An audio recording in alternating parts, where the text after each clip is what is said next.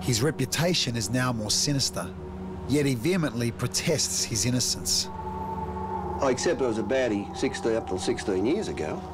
I don't think I'm a baddie now. In 1984, the